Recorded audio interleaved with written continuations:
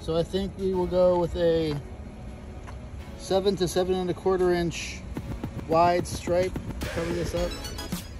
It's all really gouged out. Uh, double stripe it.